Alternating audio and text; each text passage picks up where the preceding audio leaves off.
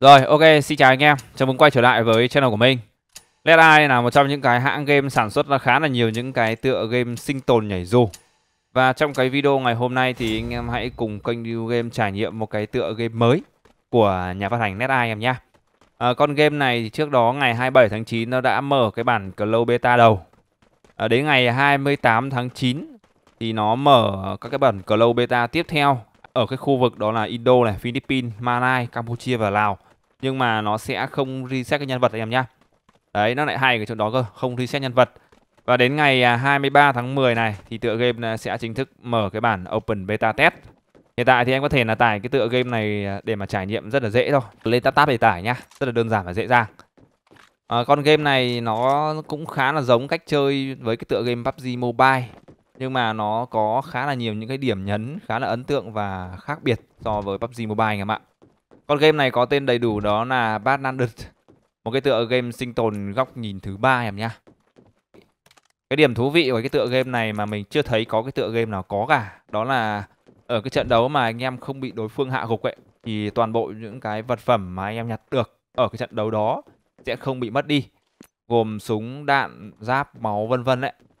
Khi mà vào cái trận đấu khác thì mọi cái vật phẩm đó sẽ được nằm nghiêng ở trên người của anh em ngược lại thì khi mà anh em mà để bị cái đối phương hạ gục ấy, thì toàn bộ cái vật phẩm đó sẽ thuộc về cái người hạ gục. Đấy, thuộc về cái người mà đã giết anh em đấy.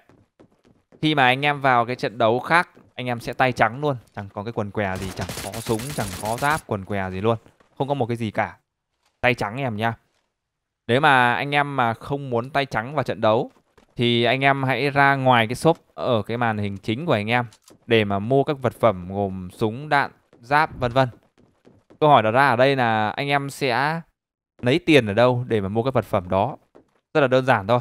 Những cái vật phẩm mà anh em nộp được ở cái ván đấu mà không bị hạ gục bởi người khác ấy. Những cái vật phẩm xịn thì anh em sẽ trang bị nên cho nhân vật của anh em.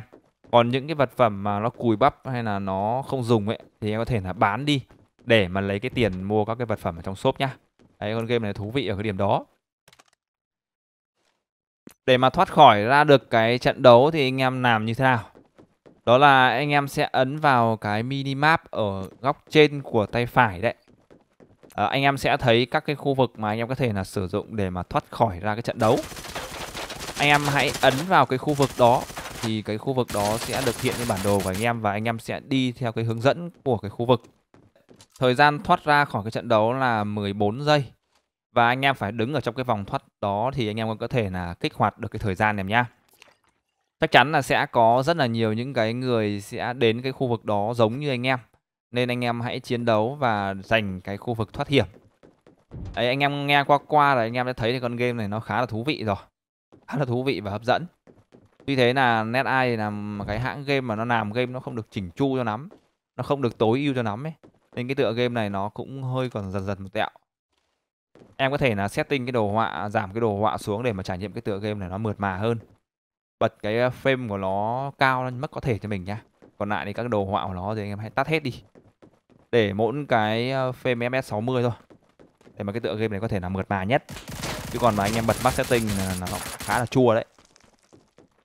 Game này hiện tại thì đang có cái chế độ đó là solo một mình này. Hoặc là anh em có thể là đi cùng với hai người khác tính cả chúng ta vào là ba người đấy. Thực ra thì mình cũng không quan tâm nhiều lắm về cái con game này. Nhưng mà ở trên facebook thì có một bạn đã tag mình vào cái bài viết về cái tựa game này. Và mình à, xem cái trailer của nó thì thấy là khá là hấp dẫn. Xem cái trailer thì mình mới quyết định là tải cái tựa game này về và làm clip cho anh em xem. Tổng dung lượng của tựa game này hiện tại đang là 1,32 GB nhá một cái tựa game sinh tồn mà có 1,32 GB thì nó cũng khá là nhẹ. Khá là nhẹ đấy nhẹ hơn nhiều so với PUBG Mobile. Nói chung là các cái nút của chúng ta này các cái phím của chúng ta không khác gì PUBG cả. Cái lối chơi thì cũng ờ, giết nhau để mà sinh tồn thôi nó cũng chẳng khác gì PUBG một vài những cái yếu tố quyết định và làm nên ờ, cái khác biệt của cái tựa game này thôi mà mình vừa nói cho anh em rồi lúc đầu ờ, mình vào chơi thì mình cũng chẳng hiểu cái quần què gì, chơi cái con game này như thế nào, không hiểu cái gì luôn một vài ván thì chúng ta mới có thể là hiểu được và chơi cái tựa game này thôi rồi, ok, đó là toàn bộ cái chia sẻ của mình giới thiệu cho anh em ờ, một cái tựa game ờ, sinh tồn khá là hấp dẫn của về nhà phát hành Nara. Tựa game Batnadet. Anh em có thể là tải cái tựa game này, link mình sẽ để ở dưới phần mô tả của video nhé cho anh em nào muốn trải nghiệm. Một cái tựa game có thể là thay thế khá là vui khi mà anh em chán PUBG chẳng hạn. Sau khi mà anh em xem xong cái video này thì có suy nghĩ gì về à, đồ họa của cái tựa game, cách chơi của cái tựa game này thì hãy comment phía dưới nhá. Một lần nữa thì à, rất là cảm ơn anh em đã xem đến cuối video. Xin chào và hẹn gặp lại anh em vào các video tiếp theo.